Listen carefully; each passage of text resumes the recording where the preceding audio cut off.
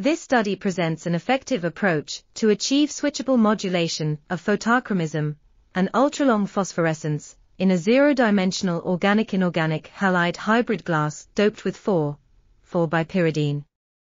The facile fabrication of large-scale glasses is accomplished through a combined grinding melting quenching process.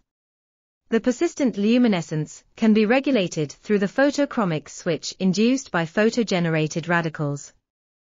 Furthermore, the incorporation of the aggregation-induced chirality effect generates intriguing circularly polarized luminescence with an optical dissymmetry factor, G-lum, reaching the order of 10 to 2.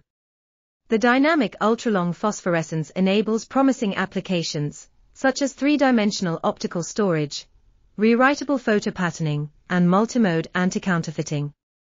This study introduces a smart hybrid glass platform as a new photoresponsive switchable system, offering versatility for a wide array of photonic applications.